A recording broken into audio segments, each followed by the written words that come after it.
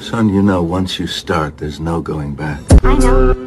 This means total commitment. Once you begin the path, there is no leaving the path.